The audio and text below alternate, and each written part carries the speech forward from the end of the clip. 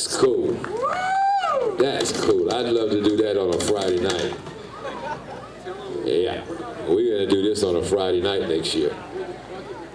The Bucket Brigade. Sound great, guys. I love it. I love it. It is cool. Take a, give them a big round of applause, folks.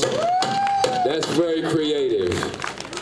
I thought they were going to show up with 10, 10 buckets. that really scared me. I've seen 10, but I've never seen done in plastic. That's cool.